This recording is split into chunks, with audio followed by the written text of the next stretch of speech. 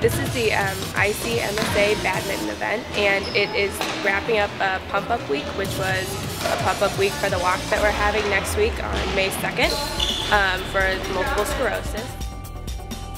Just came because I like badminton. Well, I've never been in a tournament or anything because my high school like didn't have a team or anything. So I just wanted to play against some of the people that are pretty good. Some of my friends like encouraged me to like participate in the multiple sclerosis week thing, and I saw the badminton thing, so I thought that that would be like a good way to like be part of it, like actually go to one of the events. All money is going towards our club, and we're going to use it for different fundraisers for the event, which will in turn benefit um, MS. I didn't really know that it was going to be like super serious, but um, I, think I did okay against. Are you having a good time? Yeah. Okay. Yeah, it's fun.